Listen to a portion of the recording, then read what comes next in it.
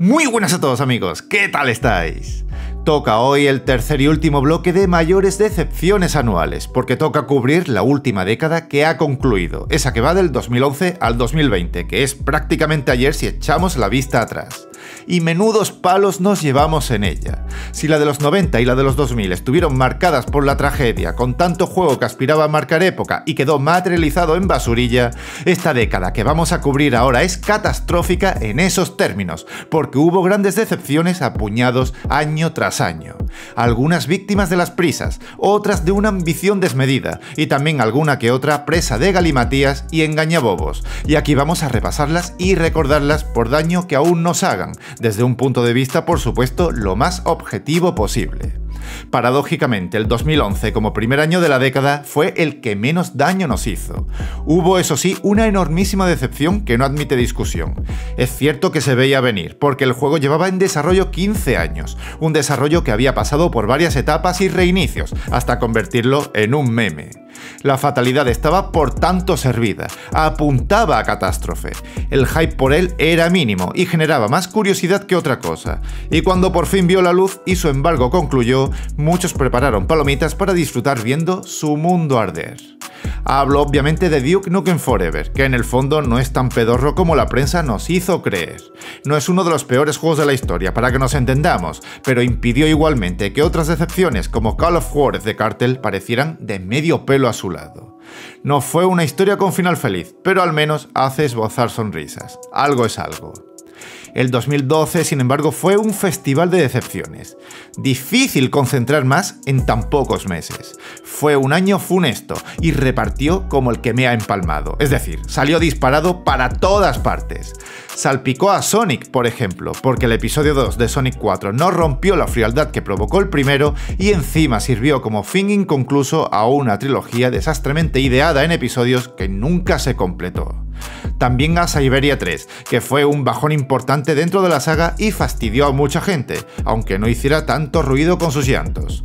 A Fable también, cuyo The Journey quedó muy lejos de lo que se esperaba de él, aunque no fuera entrega numerada. Y también a Star Wars, con cuya experiencia en Kinect casi que mejor correr un tupido velo, porque fue ridícula. Pero sobre todo se ensañó con Resident Evil. Por un lado, con el decepcionante y despistado Operation Dragon City, que siendo un spin-off se le podía perdonar. Pero por otro, con Resident Evil 6, que se meaba y cagaba en el legado de la saga, siendo encima secuela principal, con situaciones estrambóticas que pintaba de comedia toda la experiencia. Nadie esperaba algo así, fue imperdonable. La cosa se relajó bastante en 2013 y menos mal, porque no estaba el horno para bollos. De todos modos, ya andábamos con la mosca detrás de la oreja, porque algún proyecto iba a hacer agua seguro. Lo sabíamos, nos lo barruntábamos. Los fans de Call of Duty dirán que fue Ghosts, que a menudo es tachado de bluff dentro de la línea principal anual de la saga. Pero la decepción por excelencia del año tiene nombre y apellidos.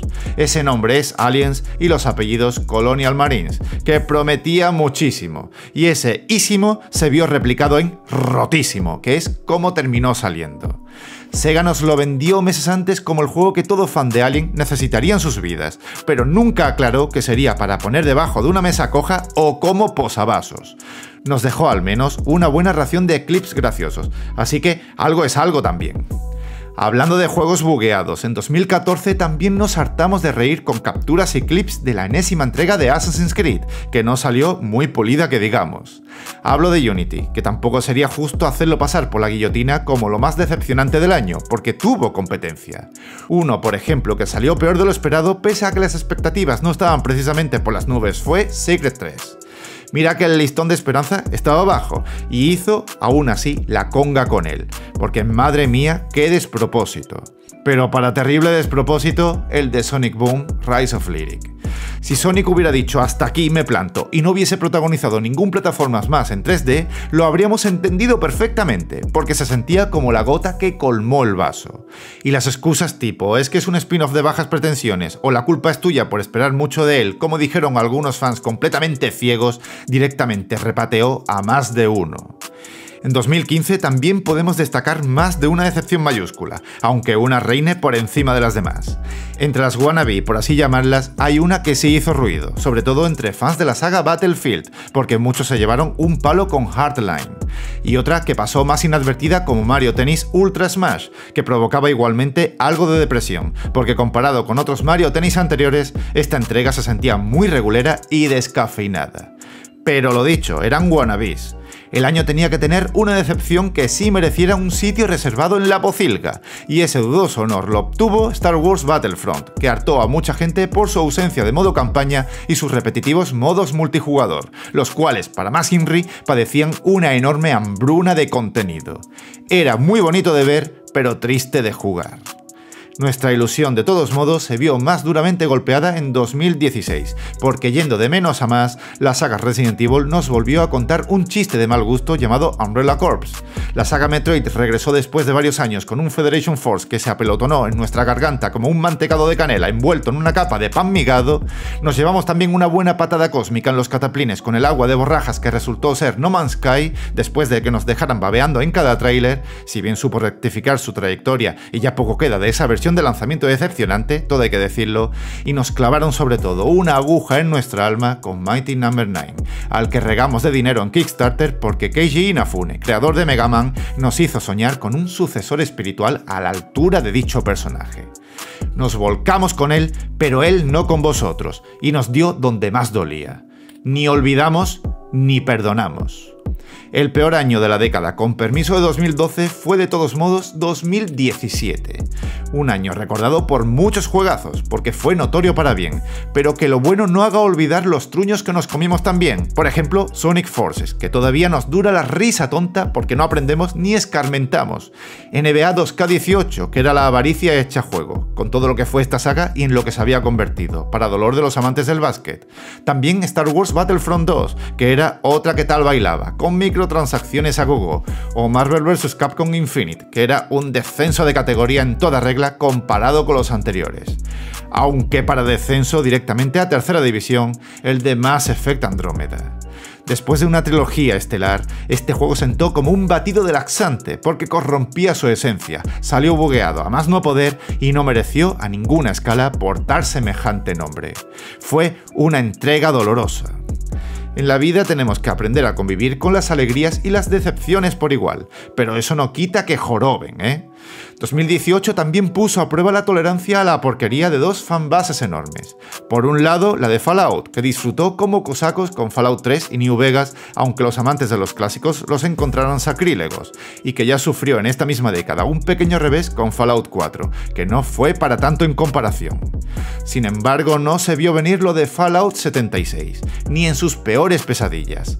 Bugs por doquier, un mundo abierto insulso y mucha frustración y patetismo de lanzamiento. Pero Konami dice, sujétame el cubata, que si hay un juego pérfidamente decepcionante de ese año, ese fue Metal Gear Survive. Menudo descarrilamiento de tren, qué forma de atentar contra su propia estirpe, de arrastrar una de las IP más célebres de este mundillo por estiércol fresco. Y Kojima mientras, llorando y riendo por igual. Hubo sagas importantes que también sufrieron desfalcos el año siguiente. Se me vienen dos a la cabeza, que dado los recientes que aún son, seguro que no habéis terminado de digerir aún. Una es Shenmue, que después de esperar mil años su tercera entrega y de aguantar mucho mamoneo, con limosnas incluidas, nos dejó con las patitas colgando porque se cumplieron los presagios de que nunca habrá un Shenmue como los dos primeros, ya que el 3 quedó muy lejos de ellos. Y otra es Contra para dar luz verde a algo como Rogue Corps, casi que mejor se lo hubieran ahorrado.